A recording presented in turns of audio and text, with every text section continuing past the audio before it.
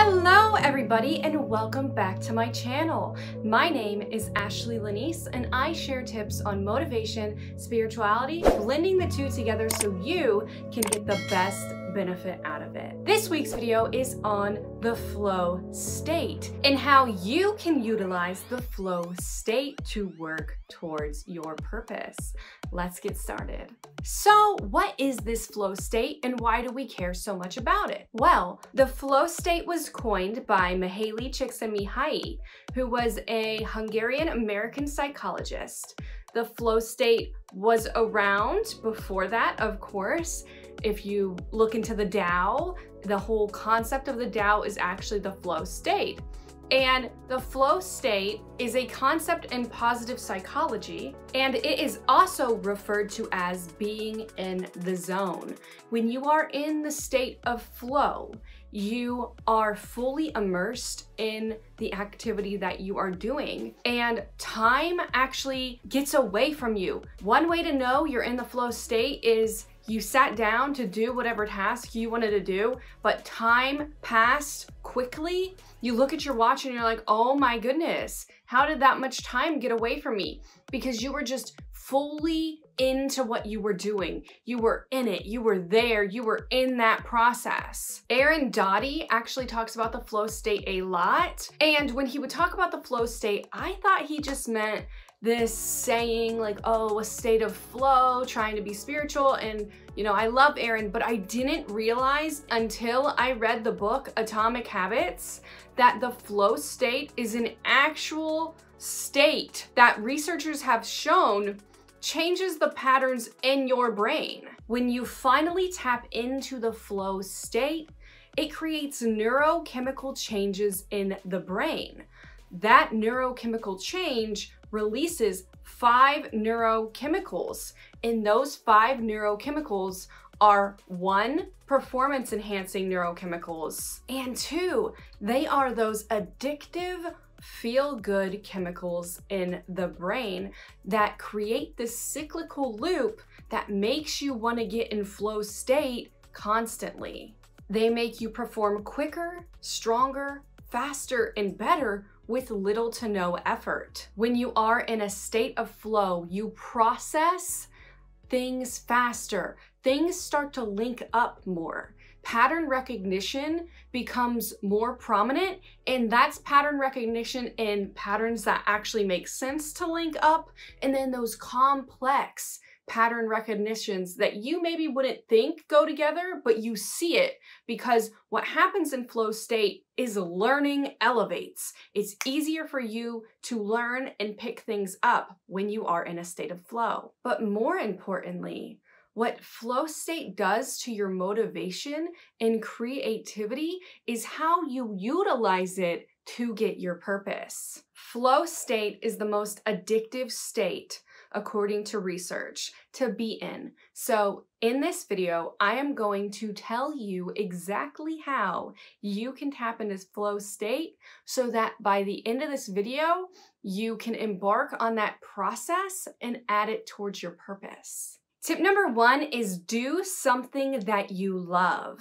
Flow state is easier to obtain when you're doing an activity that you genuinely love doing. So whether that's writing, that's athletics, that's working out, that's drawing, any of that can tap you into the flow state. You know you're in flow when you're loving every single second of the process and internal and external distractions don't pull you out of that flow state. Tip number two is when you are doing this activity, listen to music that doesn't have any lyrics, something like binomial beats, or there's study music on YouTube, which I will link down below some of my favorites that are longer periods of time, just sounds, because that will keep you in the habitual nature of staying in flow. The key feature of flow is to eliminate distractions,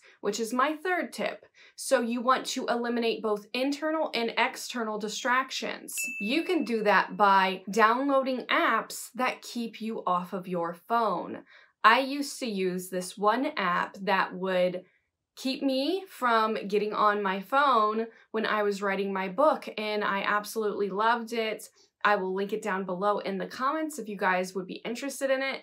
It was a gardening app, so you started the app and you got to plant digital trees and see your forest grow for the amount of time that you weren't on the phone. If you don't want to download an app, you can just put your phone in the other room while you are in flow state because social media, as I'm sure you're aware, is designed to pull you out of the states that you're in and distract you. The way that you eliminate internal distractions is you make sure that you sit down to do this task when you are in a state of clear mindedness and things aren't stressing you out. And if things are stressing you out, write, vent before you do the hobby. Get it all out. Fill seven pages and just pour your thoughts out onto the page and I'm gonna bring this up in another video soon on how to get rid of your negative energy. But just know that before you do the task that you have to commit full focus to, you want to dissipate all of those energies. And then once you do that, going to do that hobby or that task is going to be that much easier. Tip number four is find alignment between challenge and skill. So pick something that you love, but something that you want to get better at. A lot of athletes tap into this flow state. They talk about how they were on the court dribbling that basketball and then they were just making shot after shot after shot. And the way that they did that is they actually report drowning out all of the noise because they picked something that they loved what they wanted to get better at. And through the habit of repetition, which is tip number five, finding something you are going to do over and over and over again and repeating a schedule for that, they tapped in to that state of flow. Leading into that next tip, formulate a flow state by picking something that you are going to be like, okay, this is the thing that I'm going to start doing every single day. And eventually you will tap into flow. Now, I'm going to make a video on writing and how to help writers find passion. And so be sure to subscribe to my channel if you'd like to watch some content like that. However, this applies here because the thing that I see that writers do is they hesitate to write their book because they think that they have to wait for that state of passion to come to them. That's not how passion works. Passion and flow are a skill that you have to work towards to create. Passion is something you can find and cultivate and regenerate. So, in terms of flow, it's the exact same thing. You want to sit down and practice this skill over and over again. And when you eliminate those distractions, when you do something you love and you have clear and concise goals about how you want to improve, and I've made videos on goals if you'd like to check those out,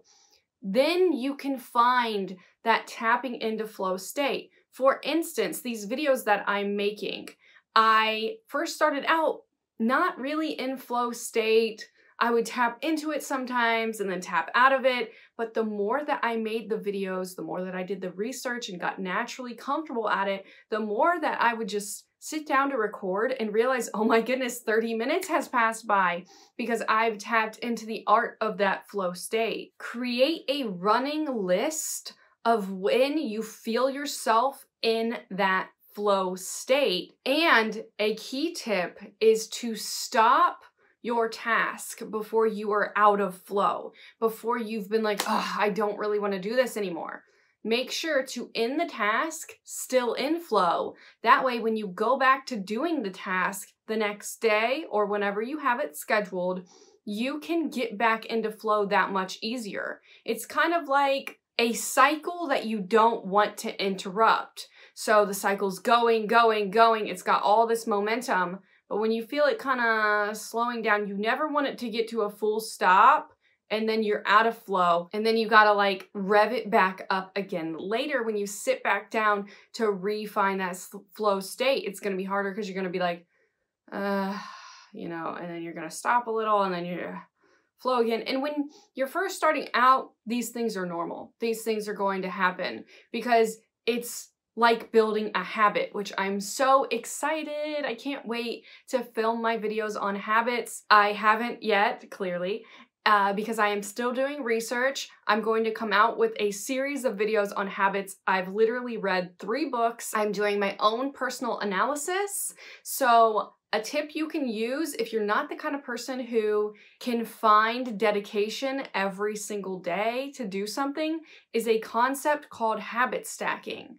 And to give you a quick example of habit stacking, because I will bring it up in another video, the way that I started to get into a flow state with my writing is in the spring when I was still going to college and I wanted to find the time to also write and work on my book. I read the book Atomic Habits and what they said to do was a concept called habit stacking where pick a habit you already do. So every single day I would check my school schoolwork. That's a habit I always did. And then what you want to do is you want to stack a habit on top of that habit you already do because this habit is already a habit that you do naturally, which is processed different than a new habit. So you utilize this repetitive behavior and you take this, okay, every day I check my schoolwork. I log in and I check my schoolwork. Then what you do is you find a specific new habit that goes on top of this already old habit. It makes sense if I explain it by example. After I clicked X on the web page of my schoolwork, I would pull up my book document and leave it on my computer. Even if I went downstairs for a snack because I just got done with my schoolwork, that's actually the perfect time to do it at the end of one of your already pre-existing habits.